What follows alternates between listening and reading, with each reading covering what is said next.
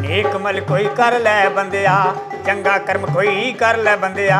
ਸਮਾਂ ਨਿਕਲਦਾ ਜਾਂਦਾ ਈ, ਹਰ ਇੱਕ ਸਾਨਾ ਉਮਰ ਤੇਰੀ ਦਾ, ਕੋਟਾ ਕੱਟਦਾ ਜਾਂਦਾ ਈ। ਖਰੇ ਸੋਨੇ ਵਰਗੀ ਤੁਹਾਡੀ ਆਵਾਜ਼ ਹੈਗੀ ਹੈ ਪਰ ਫਿਰ ਵੀ ਤੁਸੀਂ ਛੋਟੇ-ਛੋਟੇ ਧਾਰਮਿਕ ਸਮਾਗਮ ਜਾਂ ਇੱਕ ਜ਼ਿਲ੍ਹੇ ਤੱਕ ਸੀਮਤ ਰਹਿ ਗਈ ਤੁਹਾਡੀ ਗਾਇਕੀ ਜਾਂ ਗੁਰੂ ਘਰਾਂ ਤੱਕ ਇਹਦਾ ਕੀ ਕਾਰਨ ਹੈ?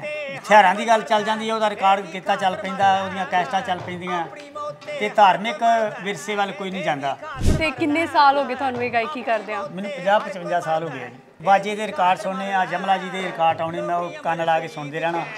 ਤੇ ਮੈਂ ਉਹ ਇੱਕ ਦੋ ਵਾਰ ਸੁਣ ਕੇ ਤੇ ਮੈਂ ਯਾਦ ਕਰ ਲੈਂਦਾ ਹੁੰਦਾ ਸੀ। ਮੈਂ ਫਿਰ ਮੁੜ ਕੇ ਜਦੋਂ ਸਕੂਲ ਦੇ ਵਿੱਚ ਜਾਣਾ ਤੇ ਗਾਉਣਾ ਤੇ ਮਾਸਟਰਾਂ ਨੇ ਮੇਰੀ ਵਾਹ-ਵਾਹ ਕਰਨੀ ਵੀ ਬਹੁਤ ਸੋਹਣਾ ਗਾਉਂਦਾ। ਗੜੀ ਯਾਰ ਦੀ ਉਹ ਵੜਦਾ ਜੋ ਤਲੀ ਤੇ ਸੀਸ ਟਕਾਂਦਾ ਈ ਹਰ ਇੱਕ ਸਾਨਾ ਉਮਰ ਤੇਰੀ ਦਾ ਕੋਟਾ ਖਟਦਾ ਜਾਂਦਾ ਈ। ਤੁਹਾਡੇ ਲਈ ਗਾਇਕੀ ਇਹੋ ਜੀ ਕੀ ਚੀਜ਼ ਹੈ ਵੀ ਤੁਸੀਂ ਕਹਿੰਦੇ ਨਹੀਂ ਮੈਂ ਐਂਡ ਤੱਕ ਗਾਵਾਂ ਅਜੇ ਅਸੀਂ ਜਿੰਨਾ ਚਿਰ ਸਾਡਾ ਜ਼ੋਰ ਪੈਂਦਾ ਅਸੀਂ ਗਾਈ ਜਾਂਦੇ ਆ ਹਾਂ।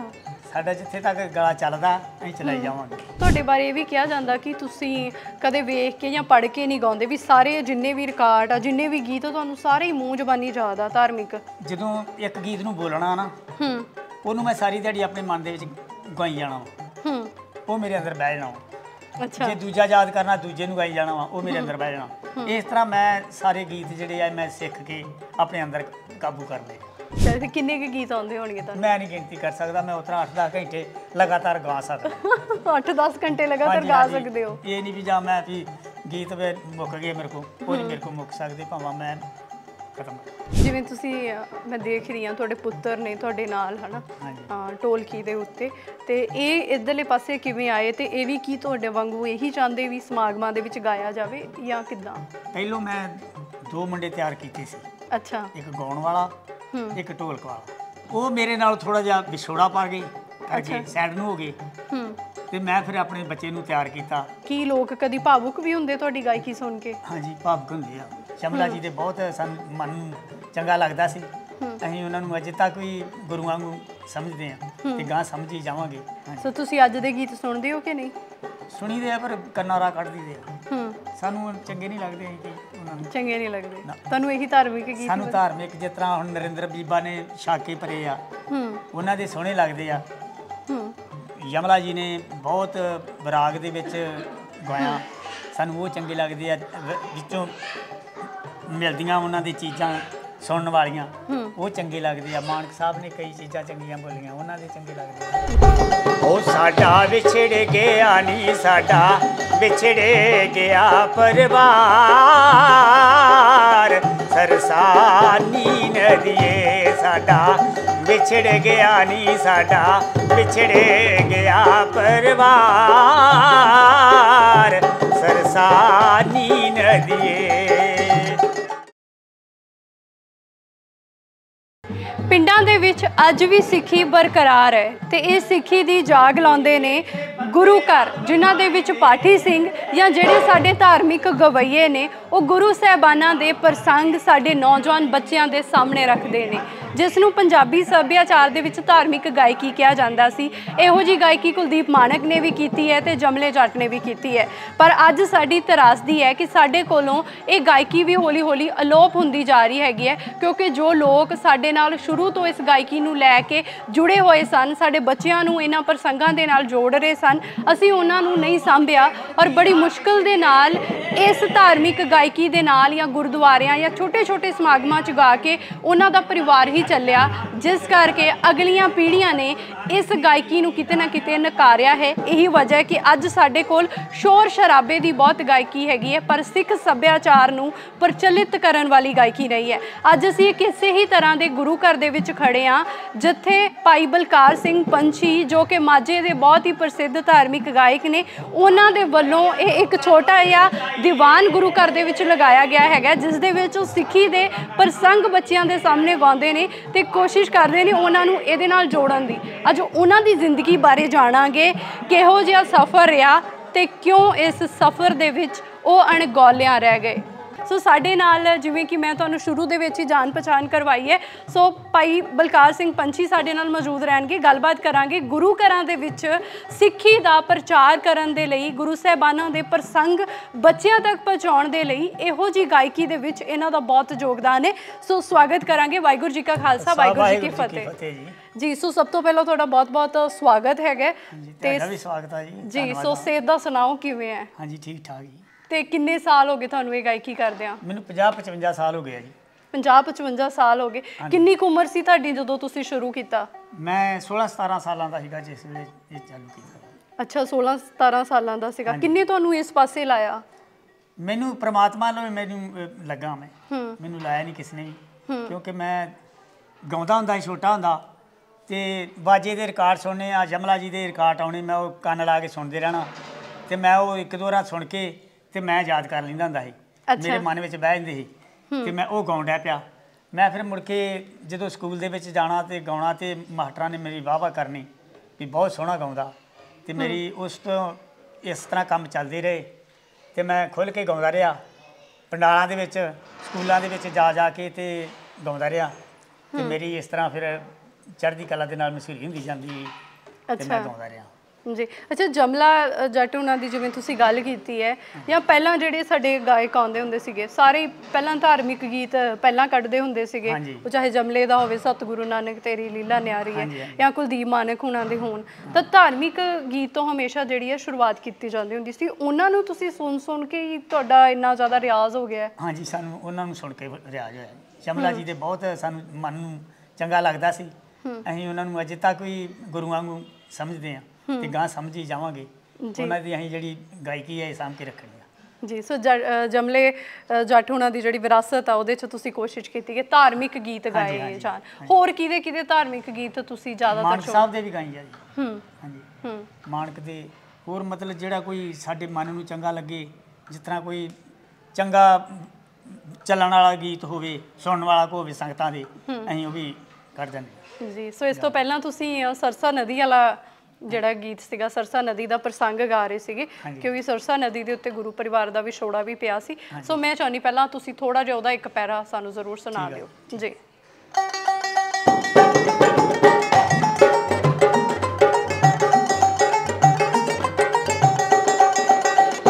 ਉਹ ਸਾਡਾ ਵਿਛੜ ਗਿਆ ਨੀ ਸਾਡਾ ਵਿਛੜੇ ਗਿਆ ਪਰਿਵਾਰ। ਸਰਸਾਨੀ ਨਦੀਏ ਸਾਡਾ, ਵਿਛੜ ਗਿਆ ਨੀ ਸਾਡਾ, ਵਿਛੜੇ ਗਿਆ ਪਰਿਵਾਰ। ਸਰਸਾਨੀ ਨਦੀਏ।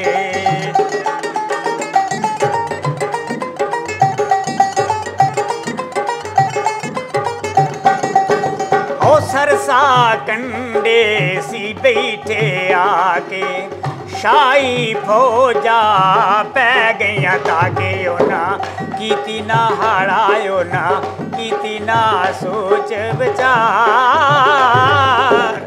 ਸਰਸਾਨੀ ਨਦੀਏ, ਸਾਡਾ ਵਿਛੜ ਗਿਆ ਨੀ, ਸਾਡਾ ਵਿਛੜ ਗਿਆ ਪਰਿਵਾਰ।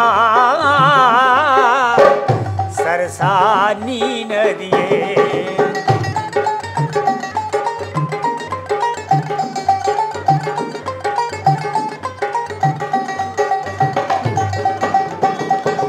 ਉਹ ਕੁਝ ਸਿੰਘ ਰੋੜੇ, ਕੁਝ ਤੂੰ ਮਾਰੇ।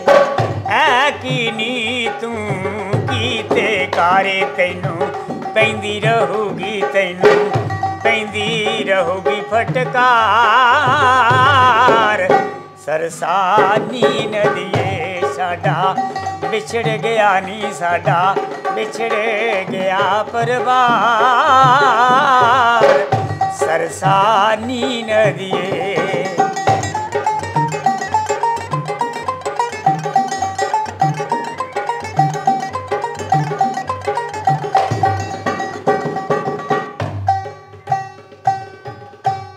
ਜੀ ਸੋ ਬਹੁਤ ਹੀ ਵਧੀਆ ਜਿਵੇਂ ਮੈਂ ਸ਼ੁਰੂ ਤੇ ਗੱਲ ਕੀਤੀ ਸੀਗੀ ਕਿ ਕਿੱਦਾਂ ਇਹ ਇਤਿਹਾਸ ਦੇ ਵਿੱਚ ਇਹਨਾਂ ਦਾ ਯੋਗਦਾਨ ਹੈ। ਜਦੋਂ ਅਸੀਂ ਸਿੱਖ ਸੱਭਿਆਚਾਰ ਦੀ ਗੱਲ ਕਰਦੇ ਹਾਂ ਤੇ ਕਿਵੇਂ ਇਹ ਗਾਇਕੀ ਅਹਿਮੀਅਤ ਰੱਖਦੀ ਹੈ? ਕਿਉਂਕਿ ਉਹ ਪ੍ਰਸੰਗ ਜਿਹੜੇ ਇਤਿਹਾਸ ਪੜ੍ਹਨ ਤੋਂ ਬਾਅਦ ਸਾਡੇ ਬੱਚਿਆਂ ਨੂੰ ਪਤਾ ਲੱਗਦੇ ਆ ਉਹ ਇਹਨਾਂ ਗੀਤਾਂ ਦੇ ਜਰੀਏ ਕਿਵੇਂ ਸੁੱਤੇ ਸੂ ਉਹਨਾਂ ਨੂੰ ਯਾਦ ਹੋ ਜਾਂਦੇ ਆ ਉਹਨਾਂ ਦੇ ਜ਼ਿਹਨ ਦੇ ਵਿੱਚ ਬੈਠ ਜਾਂਦੇ ਹੈਗੇ ਆ, ਉਹ ਇਹ ਗਾਇਕੀ ਤੋਂ ਪਤਾ ਲੱਗਦਾ ਹੈਗਾ 50 ਸਾਲ ਲਗਾਤਾਰ ਤੁਸੀਂ ਦਿੱਤੇ ਔਰ ਖਰੇ ਸੋਨੇ ਵਰਗੀ ਤੁਹਾਡੀ ਆਵਾਜ਼ ਹੈਗੀ ਹੈ। ਪਰ ਫਿਰ ਵੀ ਤੁਸੀਂ ਛੋਟੇ-ਛੋਟੇ ਧਾਰਮਿਕ ਸਮਾਗਮ ਜਾਂ ਇੱਕ ਜ਼ਿਲ੍ਹੇ ਤੱਕ ਸੀਮਤ ਰਹਿ ਗਈ ਤੁਹਾਡੀ ਗਾਇਕੀ ਜਾਂ ਗੁਰੂ ਘਰਾਂ ਤੱਕ ਇਹਦਾ ਕੀ ਕਾਰਨ ਹੈ? ਇਹਦਾ ਕਾਰਨ ਇਹ ਹੈ ਜੀ ਕਿ ਇਸ ਗੱਲ ਨੂੰ ਲੋਕ ਸਮਝਦੇ ਨਹੀਂ। ਮਤਲਬ ਧਾਰਮਿਕ ਸਟੇਜ ਵੱਲ ਜਾਂਦੇ ਨਹੀਂ ਤੇ ਬੜੇ ਜ਼ੋਰ ਦੇ ਨਾਲ ਇਹ ਵਿਰਸਾ ਸਾਂਭ ਕੇ ਰੱਖਿਆ। ਹੂੰ। ਜੋ ਲੋਕ ਦੂਜੇ ਧੰਮ ਧੜੱਕੇ ਵੱਲ ਨੂੰ ਚੱਲਦੇ ਆ ਹਥਿਆਰਾਂ ਦੀ ਗੱਲ ਚੱਲ ਜਾਂਦੀ ਹੈ ਉਹਦਾ ਰਿਕਾਰਡ ਕੀਤਾ ਚੱਲ ਪੈਂਦਾ ਉਹਦੀਆਂ ਕੈਸਟਾਂ ਚੱਲ ਪੈਂਦੀਆਂ। ਤੇ ਧਾਰਮਿਕ ਵਿਰਸੇ ਵੱਲ ਕੋਈ ਨਹੀਂ ਜਾਂਦਾ। ਇਸ ਕਰਕੇ ਅਸੀਂ ਧਾਰਮਿਕ ਵਿਰਸੇ ਵੱਲ ਜਾਂਦੇ ਆ ਹੂੰ। ਤੇ ਜਾਂਦੇ ਰਹਾਂਗੇ ਕੈਸੇਟ ਕੁਸਟ ਵੀ ਨਹੀਂ ਕੱਢੀ ਜਿੱਦਾਂ ਕਈ ਵਾਰ ਅਸੀਂ ਆਪਣੇ ਤੌਰ ਤੇ ਕੱਢ ਦਿੰਨੇ ਕਿ ਕੀ ਪਤਾ ਚੱਲ ਜੇ। ਨਹੀਂ ਅਸੀਂ ਕੈਸਟ ਵੀ ਨਹੀਂ ਕੋਈ ਕੱਢੀ। ਉਹਦਾ ਕੀ ਕਾਰਨ ਸੀਗਾ? ਕਾਰਨ ਇਹੋ ਵੀ ਇਧਰ ਨੂੰ ਹੋਏ ਨਹੀਂ ਅਜੇ। ਹੂੰ। ਅਸੀਂ ਹੋਏ ਨਹੀਂ। ਜੇ ਮਤਲਬ ਇਹ ਕਰਕੇ ਨਹੀਂ ਹੋਏ ਕਿ ਪਤਾ ਸਾਡੀ ਚੱਲਣੀ ਆ ਕਿ ਜਾਂ ਨਹੀਂ ਚੱਲਣੀ। ਇਹ ਕਰਕੇ ਅਸੀਂ ਢਿੱਲੇ ਰਹੇ। ਢਿੱਲੇ ਰਹੇ ਹਾਂਜੀ। ਵੈਸੇ ਕਦੇ ਮਨ ਦੇ ਅੰਦਰ ਆਉਂਦਾ ਵੀ ਕੋਈ ਆਉਂਦਾ ਰਿਕਾਰਡ ਤੇ ਹੈਗਾ ਸੀ। ਹੂੰ। ਪਰ ਗਾੜੀ ਫੁਰਸਤ ਨਹੀਂ। ਹੂੰ। ਗਾੜੀ ਚੱਲਣ ਦੀ। ਇਹ ਕਰਕੇ ਮਜਬੂਰੀਆਂ ਵੀ ਰਹੀਆਂ ਕਰਦੀਆਂ ਹਾਂਜੀ ਮਜਬੂਰੀਆਂ ਰਹੀਆਂ। ਬਹੁਤ ਜ਼ਿਆਦੀਆਂ।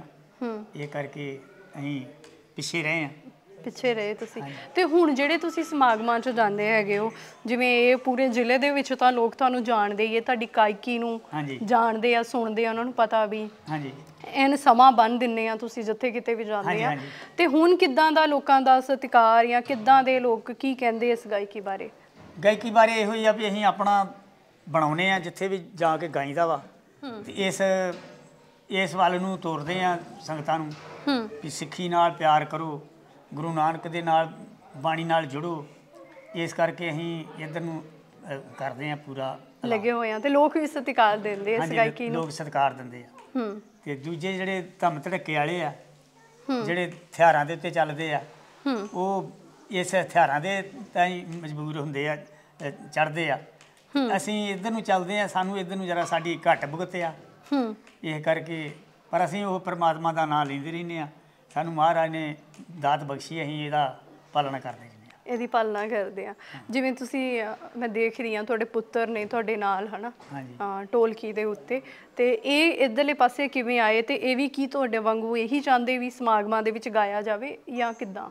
ਅਸੀਂ ਪਹਿਲੋਂ ਮੈਂ ਦੋ ਮੁੰਡੇ ਤਿਆਰ ਕੀਤੇ ਸੀ। ਅੱਛਾ। ਇੱਕ ਗਾਉਣ ਵਾਲਾ ਹੂੰ। ਇੱਕ ਢੋਲਕ ਵਾਲਾ। ਉਹ ਉਹ ਮੇਰੇ ਨਾਲ ਥੋੜਾ ਜਿਹਾ ਵਿਛੋੜਾ ਪਾ ਗਏ ਕਰਕੇ ਸਾਈਡ ਨੂੰ ਹੋ ਗਏ। ਹੂੰ। ਤੇ ਮੈਂ ਫਿਰ ਆਪਣੇ ਬੱਚੇ ਨੂੰ ਤਿਆਰ ਕੀਤਾ। ਇਹਨੂੰ ਮੈਂ ਤਿਆਰ ਕਰਕੇ ਢੋਲਕ ਸਿਖਾ ਲਈ। ਹੂੰ। ਆਪ ਹੀ ਸਿਖਾ ਲਈ। ਹੂੰ। ਕੋਈ ਤੇ ਇਹ ਚੱਲ ਪਿਆ। ਵਧੀਆ ਵਜਾਉਂਦਾ ਢੋਲਕ। ਅੱਛਾ। ਹੁਣ ਸਟੇਜਾਂ ਦੇ ਤੇ ਮੇਰੇ ਨਾਲ ਕੰਮ ਕਰ ਤੁਹਾਡਾ ਪੁੱਤਰ ਹੀ ਜਾਂਦਾ ਹੈਗਾ। ਹਾਂਜੀ। ਚੰਗਾ ਲੱਗਦਾ ਤੁਸੀਂ ਅੱਗੇ ਆਪਣੀ ਜਿਹੜਾ ਤੁਹਾਡੇ ਅੱਗੇ ਕਹਿ ਲਓ ਪੀੜ੍ਹੀਆਂ ਨੂੰ ਵੀ ਇਸ ਗਾਇਕੀ ਦੇ ਨਾਲ ਮਤਲਬ ਚਾਹੁੰਦੇ ਵੀ ਇਹ ਵੀ ਇਸ ਪਾਸੇ ਮਾੜੇ ਲੱਗੇ ਹਾਂਜੀ ਰਹਿਣ। ਹਾਂਜੀ ਹੂੰ ਲੱਗੀ ਜਾਂਦਾ ਵਾ ਨਾਲੇ ਤੇ ਨਾਲੇ ਆਪਣਾ ਕੰਮ ਦੂਜਾ ਕਾਰੋਬਾਰ ਵੀ ਨਾਲ ਕਾਰੋਬਾਰ ਵੀ ਕਰਦਾ। ਹੈ ਕਰਦਾ ਹਾਂਜੀ। ਬਿਲਕੁਲ ਔਰ ਇਹ ਤਾਂ ਸੱਚ ਹੈ ਕਿ ਹੁਣ ਇਹਦੇ ਸਿਰ ਤੋਂ ਅੱਜ ਦੇ ਟਾਈਮ 'ਚ ਜਿੱਦਾਂ ਦੀਆਂ ਹਾਂਜੀ, ਲੋੜਾਂ ਹਾਂਜੀ। ਇਕੱਲਾ ਘਰ ਨਹੀਂ ਆਪਣਾ ਚਲਾ ਟਾਈਮ ਸਕਦਾ। ਪਾਸ ਕਰ ਰਹੇ ਨੇ। ਹੂੰ ਸੋ ਨਾਲ ਆਪਣਾ ਕੰਮ ਕਰਦਾ ਨਾਲ ਤੁਹਾਡੇ ਨਾਲ ਵੀ ਨਾਲ ਜਾਂਦਾ ਮੇਰੇ ਨਾਲ ਰਹਿੰਦਾ ਹੈਗਾ। ਪ੍ਰੋਗਰਾਮ ਲਾਉਂਦਾ। ਇੱਥੇ ਤੁਸੀਂ ਕਿੱਥੇ ਕਿੱਥੇ ਸਟੇਜਾਂ ਲਾਈਆਂ? ਥੋੜਾ ਜਿਹਾ ਮੇਰੇ ਨਾਲ ਸਾਂਝਾ ਕਰੋ ਕਿੱਦਾਂ ਦਾ ਤਜਰਬਾ ਰਹਿੰਦਾ ਆ। ਹਾਂਜੀ। ਤੇ ਕੀ ਲੋਕ ਕਦੀ ਭਾਵੁਕ ਵੀ ਹੁੰਦੇ ਤੁਹਾਡੀ ਗਾਇਕੀ ਸੁਣ ਕੇ? ਹਾਂਜੀ ਭਾਵਕ ਹੁੰਦੇ ਆ। ਇੱਥੇ ਇਸ ਇਸ ਤੇ ਇੱਥੇ ਵੀ ਐਸੇ ਵੀ ਗੁਰਦੁਆਰੇ ਅਸੀਂ ਗਾਉਂਦੇ ਰਹਿੰਦੇ ਆ। ਗਾਇਆ ਹੂੰ। ਤੇ ਹੋਰ ਵੀ ਆਮ ਜਿੱਥੇ ਮਤਲਬ ਸ- ਕੋਈ ਚੱਲਦਾ ਵਾ ਜਿਹੜਾ ਗੁਰਪੁਰਬ ਹੂੰ। ਜਾਂ ਇਤਿਹਾਸੀ ਕੋਈ ਅ, ਮਤਲਬ ਕੋਈ ਵੀ ਹੁੰਦਾ ਵੀ ਉੱਥੇ ਤੁਸੀਂ ਹਾਂਜੀ, ਜਾਂਦੇ ਹਾਂਜੀ, ਹੈਗੇ ਆ। ਸੰਤ ਸਮਾਗਮ ਤੇ ਸਾਨੂੰ- ਜਿਵੇਂ ਇੰਨੀ ਹੁਣ ਤੁਸੀਂ ਉਮਰ ਦੇ ਵੀ ਉਹ ਪ- ਪੜਾਅ ਵੱਲ ਵਧਣ ਲੱਗੇ ਤਾਂ ਜਿੱਦਾਂ ਬੰਦਾ ਜਿੱਦਾਂ ਜਿੱਦਾਂ ਬਜ਼ੁਰਗੀ ਵੱਲ ਵਧਦਾ ਉਹਨੂੰ ਇਹ ਵੀ ਹੁੰਦਾ ਵੀ ਚੱਲ ਹੁਣ ਬਥੇਰਾ ਕਰ ਲਿਆ ਹੁਣ ਛੱਡ ਦੋ। ਪਰ ਤੁਹਾਡੇ ਲਈ ਗਾਇਕੀ ਇਹੋ ਜੀ ਕੀ ਚੀਜ਼ ਹੈ ਵੀ ਤੁਸੀਂ ਕਹਿੰਦੇ ਨਹੀਂ ਮੈਂ ਐਂਡ ਤੱਕ ਅਜੇ ਗਾਉਂਗਾ ਅਸੀਂ ਜਿੰਨਾ ਚਿਰ ਸਾਡਾ ਜ਼ੋਰ ਪੈਂਦਾ ਅਸੀਂ ਗਾਈ ਜਾਂਦੇ ਆ ਹਾਂ। ਸਾਡਾ ਜਿੱਥੇ ਤੱਕ ਗਲਾ ਚੱਲਦਾ ਅਸੀਂ ਚਲਾਈ ਜਾਵਾਂਗੇ। ਚੱਲਦਾ ਰਹਿਣਾ। ਜਦੋਂ ਗਲਾ ਸਾਥ ਦੇ ਗਿਆ ਉਦੋਂ ਹਟ ਜਾਾਂਗੇ। ਅਜੇ ਸਾਥ ਦਿੰਦਾ। ਜਿੰਨਾ ਤੱਕ ਦਿੰਦਾ ਰਿਹਾ ਤੁਹਾਨੂੰ ਇਹ ਵੀ ਮੈਂ ਗਾਇਕੀ ਕਰਾਂਗਾ? ਚਾਹੇ ਐਂਡ ਤੱਕ ਵੀ ਗਲਾ ਚੱਲਦਾ ਰਹੇ। ਜਿੰਨਾ ਚਿਰ ਗਲਾ ਚੱਲਦਾ ਰਹੂ ਉਹਨਾਂ ਚਿਰ ਕਰੀ ਜਾਵਾਂਗੇ। ਜੀ। ਤੇ ਜਦੋਂ ਤੁਹਾਡੇ ਬਾਰੇ ਇਹ ਵੀ ਕਿਹਾ ਜਾਂਦਾ ਕਿ ਤੁਸੀਂ ਕਦੇ ਵੇਖ ਕੇ ਜਾਂ ਪੜ੍ਹ ਕੇ ਨਹੀਂ ਗਾਉਂਦੇ ਵੀ ਸਾਰੇ ਜਿੰਨੇ ਵੀ ਰਿਕਾਰਡ ਆ ਜਿੰਨੇ ਵੀ ਗੀਤ ਆ, ਤੁਹਾਨੂੰ ਸਾਰੇ ਹੀ ਮੂੰਹ ਜ਼ਬਾਨੀ ਆ ਧਾਰਮਿਕ। ਹਾਂਜੀ। ਚਾਹੇ ਕਿਹੜਾ ਮਰਜ਼ੀ ਹੋਵੇ ਜਾਂ ਕਿੰਨਾ ਜਿੰਨਾ ਮਰਜ਼ੀ। ਇਹ ਤੁਸੀਂ ਕਿਵੇਂ ਯਾਦ ਕੀਤੇ? ਕਿਉਂਕਿ ਅੱਜ ਦੇ ਗਾਇਕਾਂ ਨੂੰ ਤਾਂ ਲਿਖ ਕੇ ਗਾਉਣਾ ਪੈਂਦਾ ਉਹਨਾਂ ਨੂੰ ਤਾਂ ਆਪਣੇ ਗੀਤ ਵੀ ਯਾਦ ਇਹ ਜੀ ਮੈਂ ਜਦੋਂ ਇੱਕ ਗੀਤ ਨੂੰ ਬੋਲਣਾ ਨਾ ਹੂੰ। ਉਹਨੂੰ ਮੈਂ ਸਾਰੀ ਦਿਹਾੜੀ ਆਪਣੇ ਮਨ ਦੇ ਵਿੱਚ ਗਾਈ ਜਾਣਾ ਵਾ। ਹੂੰ। ਉਹ ਮੇਰੇ ਅੰਦਰ ਬਹਿ ਜਾਣਾ ਵਾ। ਅੱਛਾ। ਜੇ ਦੂਜਾ ਯਾਦ ਕਰਨਾ ਦੂਜੇ ਨੂੰ ਗਾਈ ਜਾਣਾ ਵਾ ਉਹ ਮੇਰੇ ਅੰਦਰ ਬਹਿ ਜਾਣਾ। ਇਸ ਤਰ੍ਹਾਂ ਮੈਂ ਸਾਰੇ ਗੀਤ ਜਿਹੜੇ ਆ ਮੈਂ ਸਿੱਖ ਕੇ ਆਪਣੇ ਅੰਦਰ ਕਾਬੂ ਕਰ ਲਏ ਅੱਛਾ ਤੇ ਕਿੰਨੇ ਕੁ ਗੀਤ ਆਉਂਦੇ ਹੋਣਗੇ ਤੁਹਾਨੂੰ ਮੈਂ ਨਹੀਂ ਗਿਣਤੀ ਕਰ ਸਕਦਾ ਮੈਂ ਉਤਰਾ 8-10 ਘੰਟੇ ਲਗਾਤਾਰ ਗਾ ਸਕਦਾ। 8-10 ਘੰਟੇ ਲਗਾਤਾਰ ਗਾ। ਸਕਦੇ ਹੋ। ਇਹ ਨਹੀਂ ਵੀ ਜਾਂ ਮੈਂ ਵੀ ਗੀਤ ਵੇ ਮੁੱਕ ਗਏ ਮੇਰੇ ਕੋ ਉਹ ਨਹੀਂ ਮੇਰੇ ਕੋ ਮੁੱਕ ਸਕਦੇ ਭਾਵੇਂ ਮੈਂ ਖਤਮ ਕਰਾਂ। ਜਿੱਦਾਂ ਤੁਸੀਂ ਪਿੰਡਾਂ ਵਿੱਚ ਜਾਂ ਜਿੱਦਾਂ ਗੁਰੂ ਘਰਾਂ ਦੇ ਵਿੱਚ ਜਾ ਕੇ ਆਪਣੀ ਗਾਇਕੀ ਕਰਦੇ ਆ ਹਨਾ। ਤੇ ਨਵੀਂ ਪੀੜ੍ਹੀ ਨੂੰ ਜਿਹੜਾ ਹੈਗਾ ਤੁਸੀਂ ਕੋਸ਼ਿਸ਼ ਕਰਦੇ ਵੀ ਸਿੱਖ ਇਤਿਹਾਸ ਨਾਲ ਜੋੜਿਆ ਜਾਵੇ ਹੈਨਾ। ਤੇ ਇਹ ਚੀਜ਼ ਤੁਹਾਨੂੰ ਕਿੱਦਾਂ ਮਹਿਸੂਸ ਕਰਾਉਂਦੀ ਆਪਣੇ ਆਪ 'ਚ ਵੀ ਮੈਂ ਕੀ ਕਿੱਦਾਂ ਦਾ ਕੰਮ ਕਰ ਇਹ ਰਿਹਾ ਮਹਿਸੂਸ ਤਾਂ ਕਰਾਉਂਦੇ ਆ ਕਿ ਵੀ ਜਿਹੜਾ ਗੁਰੂ ਘਰ ਨੂੰ ਮੰਨਦਾ ਵਾ ਉਹ ਚੰਗੇ ਰਾਹ ਪੈ ਜਾਵੇ ਤੇ ਨਸ਼ਿਆਂ ਤੋਂ ਦੂਰ ਰਵੇ। ਹੂੰ। ਨਸ਼ਿਆਂ ਦਾ ਬਲੰਦ ਜਿਹੜਾ ਅੱਜ ਚੱਲ ਰਿਹਾ ਦੌਰ ਇਹਦੇ ਤੋਂ ਬਚੇ ਰਹਿਣ। ਕਿੰਨੇ ਸਾਲ ਤੁਸੀਂ ਗਾਇਆ ਤੇ ਕਿਹੜੇ ਕਿਹੜੇ ਗੁਰਦੁਆਰਿਆਂ 'ਚ ਹੁਣ ਤੱਕ ਗਾਇਆ ਹੋਏਗਾ? ਗੁਰਦੁਆਰਿਆਂ ਦਾ ਤਾਂ ਹੁਣ ਨਾਂ ਨਹੀਂ ਬਹੁਤ ਜ਼ਿਆਦਾ ਜਗਾਇਆ ਜਿੱਦਾਂ ਥੋੜੇ ਬਹੁਤੇ ਨੇੜੇ ਤੇੜੇ ਦੇ ਤਾਂ ਦੱਸੋ। ਹਾਂਜੀ। ਅਸੀਂ ਇਹ ਭਾਈ ਮਾਨ ਸਾਹਿਬ ਹੂੰ। ਸਾਡੇ ਲਾਗੇ ਉੱਥੇ ਵੀ ਪ੍ਰੋਗਰਾਮ ਕਰਦੇ ਆ ਹੂੰ। ਸਾਡੇ ਉਹ ਗੁਰਦੁਆਰਾ ਸਾਡੇ ਪਿੰਡ ਨਗਰ ਵਾਲਾ ਉੱਥੇ ਵੀ ਸਾਡਾ ਪ੍ਰੋਗਰਾਮ ਚੱਲਦਾ। ਹੂੰ। ਤੇ ਜੋਆ ਪਿੰਡ ਉੱਥੇ ਵੀ ਚੱਲਦੇ ਆ ਬਿਠਮੀ। ਜੋ ਮਤਲਬ ਸਾਡਾ ਏਰੀਆ ਤੇ ਧਾਰਮਿਕ ਗਾਇਕੀ ਦੇ ਨਾਲ ਹੋਰ ਗਾਇਕੀ ਵੀ ਕਰਦੇ ਆ ਤੁਸੀਂ? ਮੈਂ ਹੋਰ ਗਾਇਕੀ ਨਹੀਂ ਕਰਦੇ। ਧਾਰਮਿਕ। ਸਿਰਫ ਧਾਰਮਿਕ ਹੀ ਕਰਦੇ ਆ। ਤੁਹਾਨੂੰ ਨਹੀਂ ਲੱਗਦਾ ਜੇ ਉਧਰਲੇ ਪਾਸੇ ਤੁਰੇ ਹੁੰਦੇ ਤੇ ਸ਼ਾਇਦ ਜ਼ਿਆਦਾ ਵਧੀਆ ਚੱਲੀ ਜਾਂਦਾ। ਮਾਲਕ ਦੀਆਂ ਜਿਹੜੀਆਂ ਵਾਰਾਂ ਉਹ ਮੈਂ ਗੜ ਦੇਣਾ ਗਾਉਣਾ ਕੁਲਦੀਪ ਮਾਨਕ ਦੀਆਂ ਵਾਰਾਂ ਵੀ ਗਾ ਲੈਂਦੇ ਹੋ। ਜਿੱਦਾਂ ਮਾਂ ਹੁੰਦੀ ਹੈ ਮਾਂ ਜਦੋਂ ਮਤਲਬ ਜਿਹੜੇ ਸਮਾਜਿਕ ਗੀਤ ਆ ਵੀ ਉਹ ਤੁਸੀਂ ਗਾ ਸੁਣਨ ਵਾਲੇ ਜਿਹੜੇ ਸੰਗਤਾਂ ਦੇ ਵਿੱਚ ਸੁਣਾਏ ਜਿਹੜੇ ਉੱਥੇ ਹੀ ਸੁਣਾਏ ਜਾ ਸਕਣ ਜਿਹੜੇ ਧਾਰਮਿਕ ਸਟੇਜ ਤੇ ਗਾਏ ਜਾਣ ਉਹ ਗੀਤ ਵੀ ਗਾ ਲੈਂਦੇ ਆ। ਹਾਂਜੀ ਹਾਂਜੀ। ਠੀਕ ਹੈ ਹੁਣ ਸਾਨੂੰ ਕੀ ਸੁਣਾਓਗੇ? ਜੋ ਕਹੋਗੇ ਸੁਣਾ ਦਿੰਦੇ ਕੋਈ ਲੋਕ ਤੱਥ ਮੈਂ ਚਾਹੁੰਦੀ ਤੁਸੀਂ ਸਾਨੂੰ ਸੁਣਾਓ। ਕਿਦਾਂ ਦਾ? ਕੋਈ ਵੀ ਲੋਕ ਤੱਥ ਕੋਈ ਵੀ।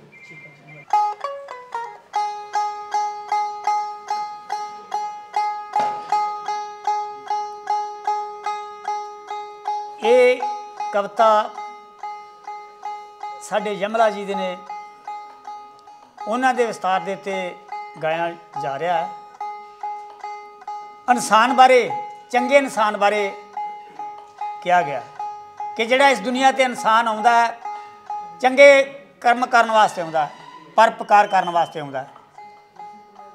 ਤੇ ਜਿਹੜਾ ਇਸ ਦੁਨੀਆ ਤੇ ਆਣ ਕੇ ਮਾੜੇ ਪਰਪਕਾਰ ਕਰ ਜਾਂਦਾ ਹੈ, ਮਾੜੇ ਕਰਮ ਕਰ ਜਾਂਦਾ, ਉਹਦਾ ਦੁਨੀਆ ਤੋਂ ਨਾ ਖਤਮ ਹੋ ਜਾਂਦਾ ਹੈ। ਜਿਹੜਾ ਚੰਗੇ ਕਰਮ ਕਰਦਾ, ਉਹਦਾ ਦੁਨੀਆ ਤੇ ਨਾਂ ਰਹਿੰਦਾ ਇਨਸਾਨ ਜਿਸ ਵੇਲੇ ਪੈਦਾ ਹੁੰਦਾ ਇੱਕ ਇੱਕ ਸਾਹ ਦੇ ਨਾਲ ਉਮਰ ਕੱਟਣੀ ਸ਼ੁਰੂ ਹੋ ਜਾਂਦੀ ਹੈ। ਇਨਸਾਨ ਨੂੰ ਇਸ ਦੁਨੀਆ ਤੇ ਕੀ ਕਰਨ ਵਾਸਤੇ ਆਉਂਦਾ ਤੇ ਕੀ ਕਰਨਾ ਚਾਹੀਦਾ, ਆਓ ਮੈਂ ਲੈਣਾ ਰਾਈ ਦੱਸ ਰਿਹਾ।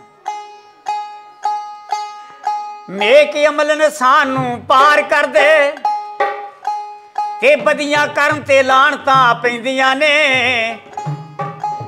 ਉਹ ਚਿੱਟੇ ਕੱਪੜੇ ਨੂੰ ਲੱਗ ਜਿੱਥੇ ਦਾਗ ਜਾਵੇ, ਉੱਥੇ ਉੱਡ ਕੇ ਮੱਖੀਆਂ ਪੈਂਦੀਆਂ ਨੇ। ਭਲੇ ਪੁਰਸ਼ਾਂ ਦਾ ਗਾਮ ਦੀ ਜਸ ਦੁਨੀਆ ਤੇ ਫਿਟਕਾਂ ਬੁਰੀਆਂ ਤਾਂ ਹੀ ਪੈਂਦੀਆਂ ਰਹਿੰਦੀਆਂ ਨੇ। ਉਹ ਚੰਗੇ ਬੰਦੇ ਦਾ ਤਾਂ ਦੇਖ ਲੋ ਰੱਬ ਬੇਲੀ, ਕਲਾ ਝੂਠੇ ਦੀਆਂ ਟੈਂਦੀਆਂ ਰਹਿੰਦੀਆਂ ਨੇ। ਚੰਗਾ ਕਰਮ ਕੋਈ ਕਰਲਾ ਬੰਦਿਆ, ਸਮਾਂ ਨਿਕਲਦਾ ਜਾਂਦਾ ਈ। ਇੱਕ ਇੱਕ ਸਾਹ ਨਾਲ ਉਮਰ ਤੇਰੀ ਦਾ ਕੋਟਾ ਘਟਦਾ ਜਾਂਦਾ ਈ। ਆਓ, ਮੈਂ ਗੀਤ ਰਾਹੀਂ ਦੱਸ ਰਿਹਾ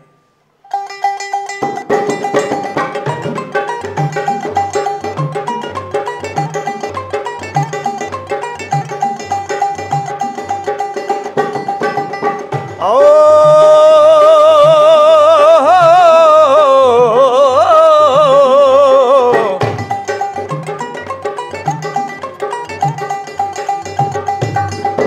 ਨੇਕ ਮਲ ਕੋਈ ਕਰ ਲੈ ਬੰਦਿਆ ਚੰਗਾ ਕਰਮ ਕੋਈ ਕਰ ਲੈ ਬੰਦਿਆ। ਸਮਾਂ ਨਿਕਲਦਾ ਜਾਂਦਾ ਈ। ਹਰ ਕਿਸਾਨ ਸਾਨਾ ਉਮਰ ਤੇਰੀ ਦਾ ਕੋਟਾ ਕੱਟਦਾ ਜਾਂਦਾ ਈ। ਨੇਕ ਮਲ ਕੋਈ ਕਰ ਲੈ ਬੰਦਿਆ।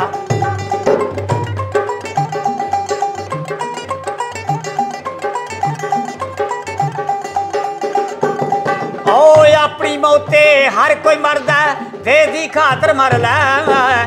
ਆਪਣੀ ਮੌਤੇ ਹਰ ਕੋਈ ਮਰਦਾ ਹੈ, ਖਾਤਰ ਮਰ ਲੈ। ਲੋਕੀ ਅਮਰ ਸ਼ਹੀਦ ਕਹਿਣਗੇ ਆਪਾ ਅਰਪਣ ਕਰ ਲੈ। ਲੋਕੀ ਅਮਰ ਸ਼ਹੀਦ ਕਹਿਣਗੇ ਆਪਾ ਅਰਪਣ ਕਰ ਲੈ। ਗਲੀ ਯਾਰ ਦੀ ਉਹ ਵੜਦਾ ਏ ਗਲੀ ਯਾਰ ਦੀ ਉਹ ਵੜਦਾ ਜੋ। ਤਲੀ ਤੇ ਸੀਸ ਟਕਾਂਦਾ ਈ ਹਰ ਇੱਕ ਸਾਨਾ ਉਮਰ ਤੇਰੀ ਦਾ ਕੋਟਾ ਖਟਦਾ ਜਾਂਦਾ ਈ। ਨੇਕ ਮਲ ਕੋਈ ਕਰ ਲੈ ਬੰਦਿਆ।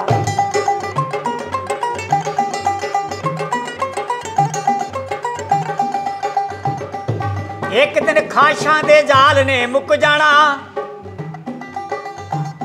ਤੇ ਚੱਲਦਾ ਨਹੀਂ ਜਵਾਨੀ ਦਾ ਦੌਰ ਰਹਿਣਾ। ਉਹ ਕਬਜ਼ਾ ਕਰਨਾ ਸਰੀਰ ਤੇ ਚੁਰੜੀਆਂ ਨੇ। ਤੇਰਾ ਇਸ ਤਰ੍ਹਾਂ ਨਹੀਂ ਚੱਲਦਾ ਦੌਰ ਰਹਿਣਾ। ਸੁੱਕ ਜਾਏਗਾ ਮੁੱਢ ਕਰੀਰ ਵਾਂਗੂ।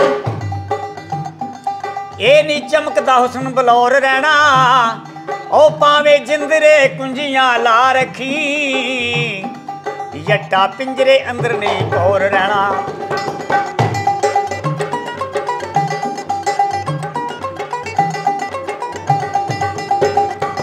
ਓ ਉੱਚੇ ਨੀਵੇ ਉਹਦੇ ਬੰਦੇ ਜੋਦੀ ਰਮਜ ਪਛਾਣੇ।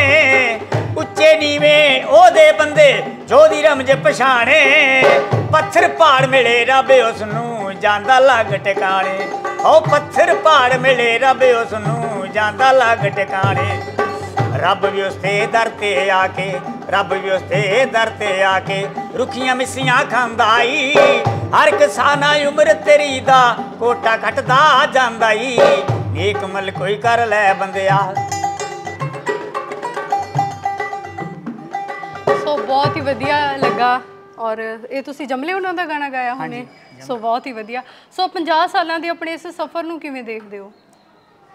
ਇਸ ਤਰ੍ਹਾਂ ਹੀ ਆ ਜੀ 50 ਸਾਲਾਂ ਦੇ ਵਿੱਚ ਆਪਣਾ ਕਾਰੋਬਾਰ ਕਰੀਦਾ ਕਮਾਈ ਕਰੀਦੀ ਆ। ਹੂੰ। ਤੇ ਟਾਈਮ ਨੂੰ ਤਾਂ ਕਰਾ ਜਾਈਦਾ ਜੀ ਟਾਈਮ ਚੰਗਾ ਲੱਗਦਾ ਤੁਸੀਂ ਸਿੱਖੀ ਨੂੰ ਅੱਗੇ ਲੈ ਕੇ ਜਾਣ ਦੇ ਵਿੱਚ ਤੁਹਾਡਾ ਯੋਗਦਾਨ ਹੈ।